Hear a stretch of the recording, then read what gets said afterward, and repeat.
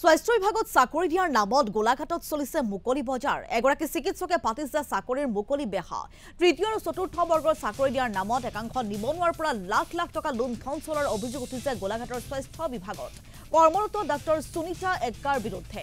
টকা লোৱাৰ অডিঅ' আৰু ভিডিঅ' ক্লিপ ভাইৰেল হোৱাৰ পিছতে পোহৰলৈ আহিছে ভয়ংকৰ তথ্য। দুই লাখ টকাৰ বিনিময় ধনত নিবনুৱাক চাকৰি দিব পাৰে ডাক্তৰ সুনীতা এক্কাই।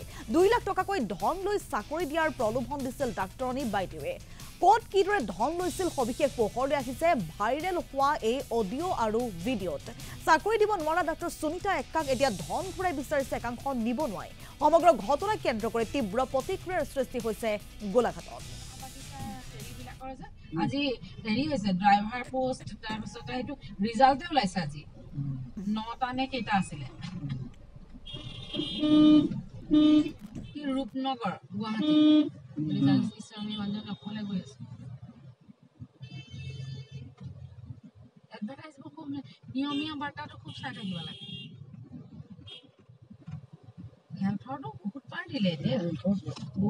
বাৰশ মান ওলালে বাৰশ ওলালে এতিয়া আৰু এহেজাৰটা ওলাব ইয়াতে ভৰাই দিম বুলি মালদা ন আমাৰ ফাইভ ছিক্স জিৰ' তাত তেতিয়াতে তোমালোকক সেই কম্পিউটাৰত ভৰাই থৈছোঁ মানে অঁ। নিবনুৱা বুলি। আৰু চাকৰিটো হ'ব কম্পেনচেটৰী গ্ৰাউণ্ডত কোনোবা ভি আৰ এছ লৈ গৈছে কোনোবা মৰি গৈছে। তুমি কাটি আছিলে যে হা? তুমি কাটি আছিলে যে। খাটাটো নহয় সেইটো নহয়। যিবিলাক একদম প্লান পষ্টত মানে কাম কৰি থকা সময়ত মানে কোনোবা এক্সপায়াৰ হৈছে কোনোবা অঁ আজি নাহিলে তাকে বোলো ফোন চোন নকৰিলে বোলো। ফোন নকৰিলো মানে ছাৰ আজি নাহিলে দুটা বজাত আহি পাইছে কালি। চাৰে দহটা বজাত সোমাম তাৰমানে আমি। মই অঁ ইফাল দিয়ে যাম তোমালোকৰ ঘৰ অঁ এইফালে আহিলে আপুনি ফোন এটা কৰি দিলে হ'ব বাৰু দিয়ক। ঘৰত আছো। ঘৰতে আছে এই কি কি হ'ল? একো খা খবৰ নাইকিয়া হ'লে যে? খবৰ দিম ৰ'বা। খবৰ মঙলবাৰে দিম। খবৰ দিম মানে আপোনাৰ বহুত দেৰি হৈ গৈছে দেখোন। এই নাই হোৱা। মঙলবাৰেহে কৈছো মই। মইতো কালি দেখোন শইকীয়াৰ লগত কথা পাতিলো।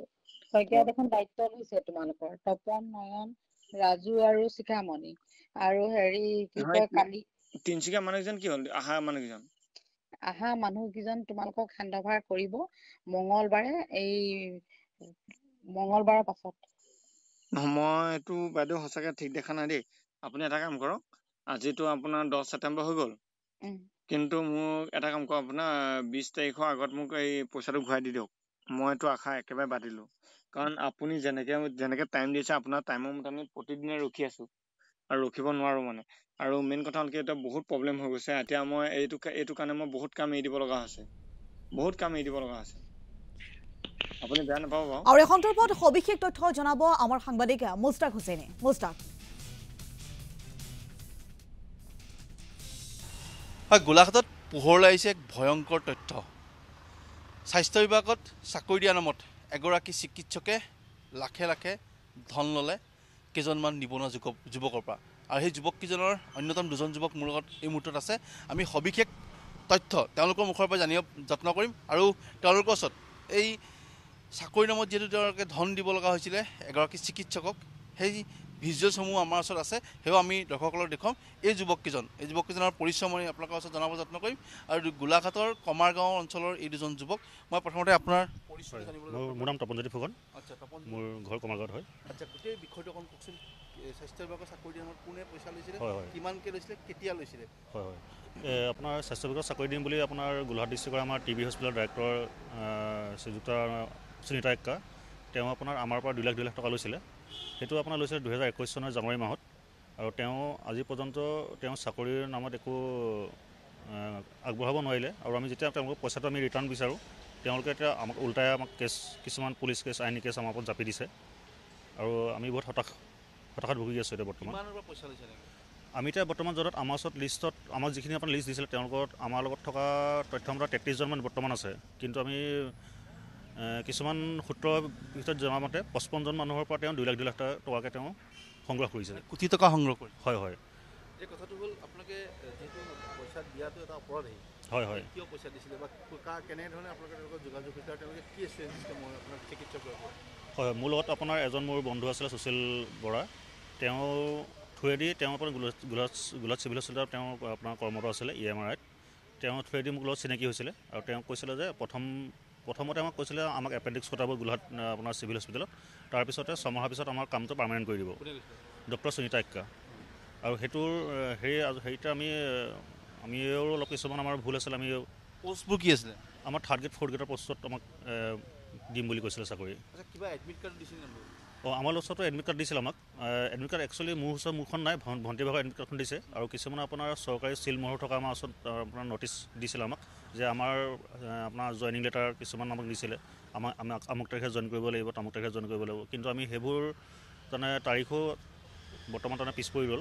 আজিলৈকে আমাক তেনেকুৱা কোনো ধৰণৰ নিযুক্তি নিযুক্তি পত্ৰ আমাৰ ওচৰত আহি নপৰিলে। পইচা দিয়া প্ৰমাণো দেখিছোঁ আপোনালোকৰ আমাৰ ওচৰত আছে আমাৰ ওচৰত ভিডিঅ' ৰেকৰ্ডিং আছে আমাৰ ওচৰত কল ৰেকৰ্ডিং আছে।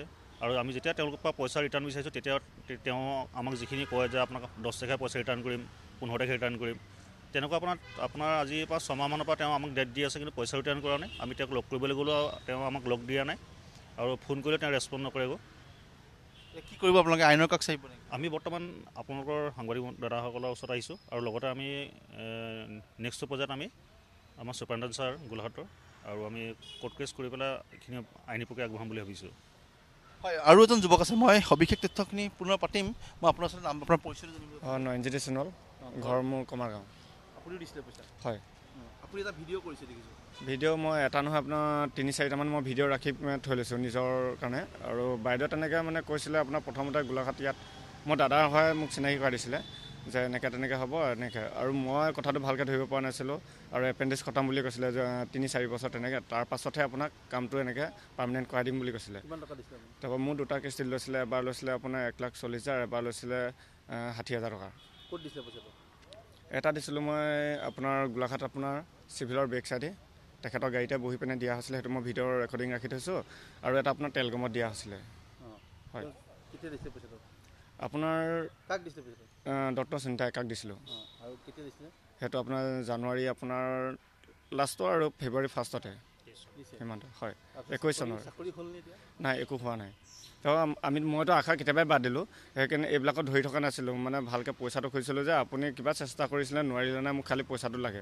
এতিয়া পইচাটোতো নিদিয়ে আমি মই আমিতো ঘৰত যিমানবাৰ বিচাৰি আহোঁ প্ৰতিবাৰতে তাই পলাই দিয়ে বা নানা ধৰণৰ এনেকুৱা বিভিন্ন ধৰণৰ আপোনাৰ বেমেজালি উলিয়াই থাকে পাজুল উলিয়াই থাকিব।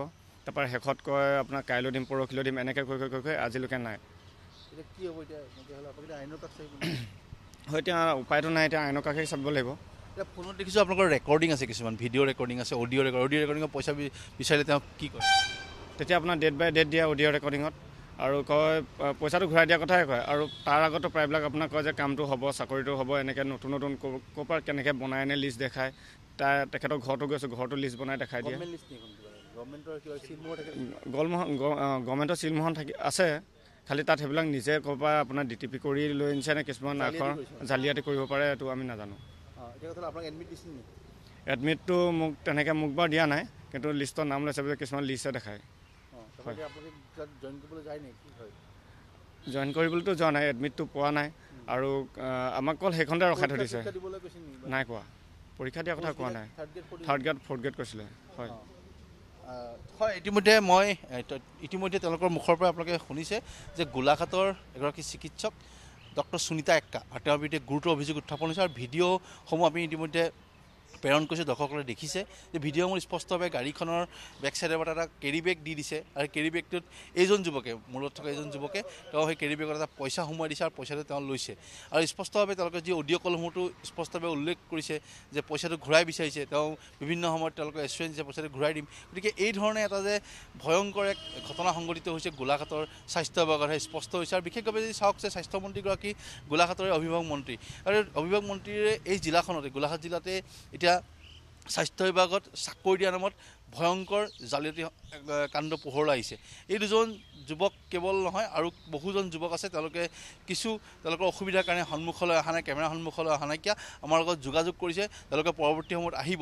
আৰু এওঁলোকে যেতিয়া পইচা বিচাৰিছে তেওঁলোকৰ ওপৰত গোচৰ জাপি দিছে। গতিকে এওঁলোকে এটা অপৰাধ কৰিছে নিশ্চয়কৈ অপৰাধ কৰিছে পইচা দিয়াটো তেওঁলোকে নিশ্চয়কৈ অপৰাধ কৰিছে।